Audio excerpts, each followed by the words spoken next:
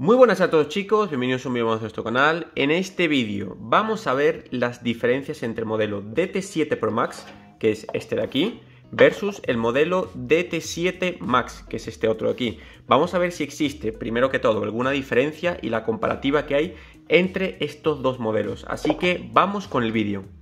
De acuerdo chicos, entonces os voy a enseñar las pocas diferencias que existen en cada uno de estos modelos. Que si por cierto queréis ver un vídeo súper completo, un tutorial súper completo sobre el modelo DT7 Max, que es este de aquí, y del DT7 Pro Max, que es este otro aquí, abajo en la descripción del vídeo os dejo un vídeo tutorial explicando absolutamente todo de cada uno de estos modelos, cómo se configura, hacemos una llamada en directo para que veáis qué tal se escuchan las llamadas, cómo se reciben las notificaciones de WhatsApp, Instagram, etc. Así que abajo os lo dejo, os lo recomiendo que lo veáis. Vale, entonces vamos a ver las principales diferencias que existen. Fijaros que este es el modelo DT7 Max, que como vemos la cajita es de color verde y funciona con la aplicación Wear Pro. Este es el modelo de T7 Max.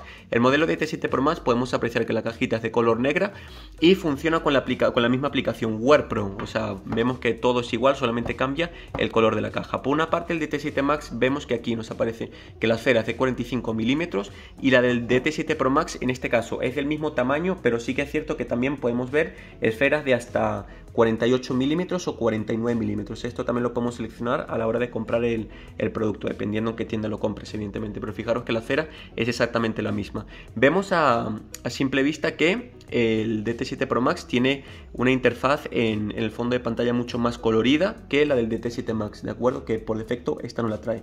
Para poder cambiar el fondo de pantalla, fijaros que podemos hacer clic en el botón de los laterales para poder cambiar lo que viene siendo el fondo de pantalla. Fijaros que los botones son exactamente los mismos y tienen las mismas funcionalidades. Por ejemplo, este botón de aquí sirve para poder acceder al apartado deportivo, fijaros que como vemos podemos acceder a nuestro apartado deportivo para poder hacer deporte.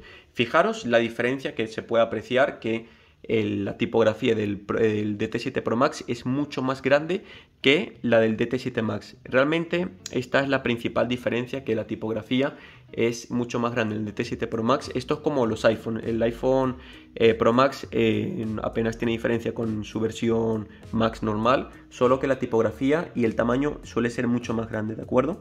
Entonces como vemos, aquí podemos acceder al ámbito deportivo. Luego si hacemos clic aquí, vemos que nos puede bloquear el, smartwatch y también nos funciona para poder acceder a lo que viene siendo el apartado del menú. Fijaros que tiene las mismas interfaces. Vamos a hacer clic aquí dos veces para que veamos que las interfaces son exactamente las mismas. O sea, apenas la interfaz apenas cambia, ¿de acuerdo? Pero voy a hacer clic aquí una vez más, ¿vale? Y vais a ver cómo podemos acceder a las mismas interfaces. Trae 11 en total, ¿de acuerdo? Yo por defecto voy a dejar esta de aquí para que sí podamos apreciar una a una las, las diferencias, que apenas, ya como os comenté, no, no existen porque realmente es la tipografía porque el resto todas las funcionalidades son exactamente las mismas. Simplemente os quiero que veáis una comparativa, por ejemplo, en cómo se leen las notificaciones, etcétera. Fijaros que por una parte tenemos el apartado telefónico, ¿de acuerdo? Que en el apartado telefónico coincide que tenemos que tener activo el Watch Call en ambos smartwatch para poder configurarlo y poder acceder al apartado de, de, las, de las llamadas. Fijaros que cada uno tiene el suyo propio. Este por una parte es el 3BC0 y este por otra parte es el CBFC. Como vemos, eh, se lee con mucha más nitidez en el DT7 Pro Max, pero porque la tipografía es mucho más grande. Las notificaciones, como veis, se reciben exactamente igual en ambos, en ambos relojes. A ver que voy a salir un segundo aquí. Fijaros que aquí, por ejemplo, podemos ver y leer las notificaciones y aquí más de lo mismo. Para este ejemplo, por ejemplo, como veis, tengo WhatsApp normal y tengo WhatsApp Business. Las notificaciones WhatsApp Business se van a poder leer sin ningún tipo de problema. Aquí, por ejemplo, solamente lo he vinculado con WhatsApp normal y con Instagram, pero fijaros que con Instagram también vamos a poder leer las notificaciones sin ningún problema. Luego por otra parte vemos que el apartado de contactos también lo tenemos, vemos que también el registro de llamada también lo tenemos, tenemos datos, las funciones deportivas son exactamente las mismas, que por cierto voy a aprovechar de entrar en el, en el apartado deporte, a ver si me lo permite ahora, pero bueno, si no hacemos ya sabéis clic aquí y podemos hacer directamente. Vamos a ver, por ejemplo, en el apartado de correr a ver si existe algún tipo de diferencia, si vemos que no, que nos mide exactamente lo mismo, o sea, fijaros realmente la poca diferencia que hay, o sea, simplemente es en la tipografía, pero es que apenas se puede apreciar, ¿de acuerdo?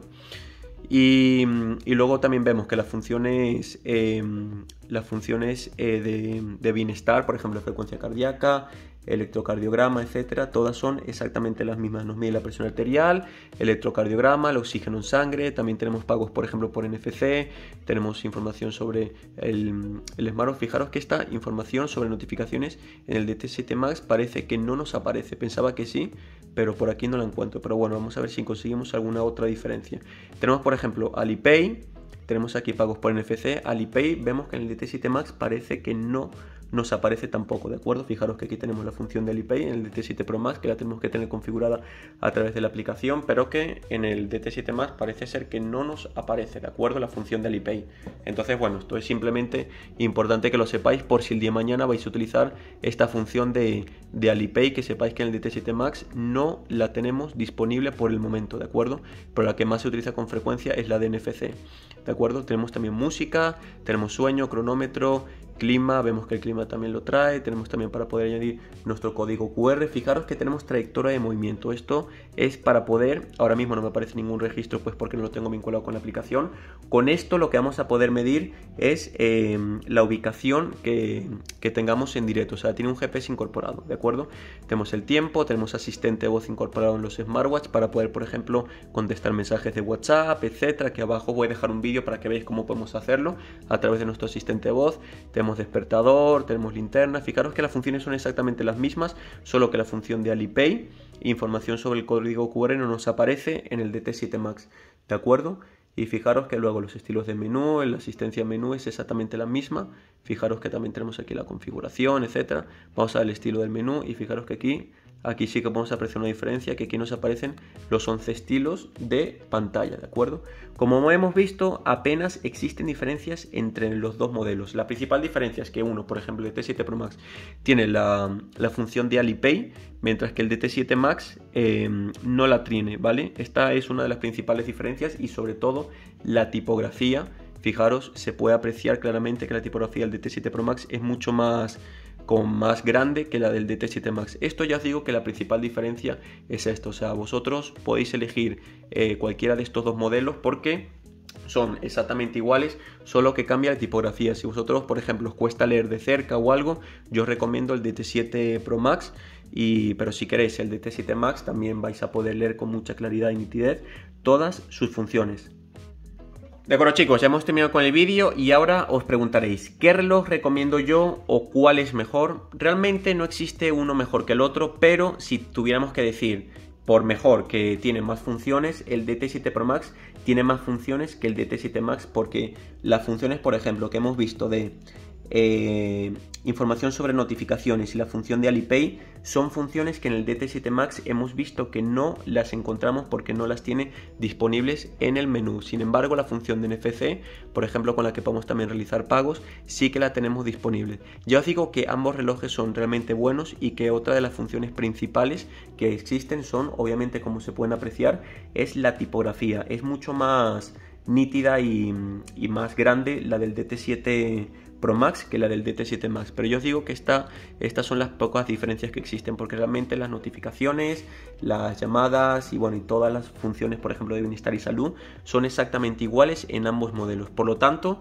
ambos modelos son exactamente válidos en función del tamaño que tú quieras ahora tener para tu smartwatch. Este es de 45 milímetros, este también es de 45 milímetros, pero en algunas tiendas los puedes conseguir de, 40, de hasta 49 milímetros, o sea que está bastante bien. Así que nada chicos, abajo voy a dejar un enlace por si os interesa conseguir alguno de estos modelos. Yo personalmente a mí me gusta más el DT7 Pro Max porque lo veo como mucho más profesional, aparte la presentación de la caja me parece más bonita, el color negro me transmite mucha más profesionalidad y porque al final tiene dos funciones más que el DT7 Max. Así que también os voy a dejar un enlace y también una review por si queréis ver cómo se configuran, como una review mucho más, mucho más a fondo de cada smartwatch. Espero que os haya gustado el vídeo y cualquier duda por favor comentadlo en los comentarios y suscribiros si no estáis suscritos. Nos vemos en el siguiente vídeo. Un saludo.